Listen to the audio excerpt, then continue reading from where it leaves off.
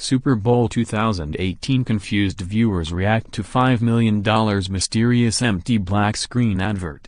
NBC has aired a black screen for 30 seconds instead of the star-studded advertising campaigns viewers are usually treated to.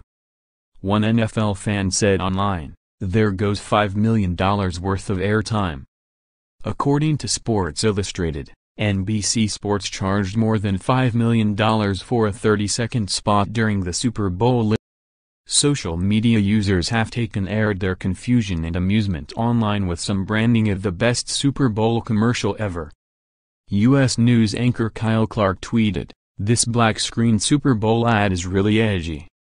Fantasy football expert Mike Clay said, Best Super Bowl commercial so far has been empty black screen while many others believed their TVs were broken and frantically tried to get the picture before the game resumed. One Twitter user said, I reset my cable box. What was that all about? Another added, I saw that too. I thought it was my TV. Weird. Some have reported that instead of the blank screen they saw a local advert with it being suggested that NBC failed to sell the expensive time slot in some areas. More to follow.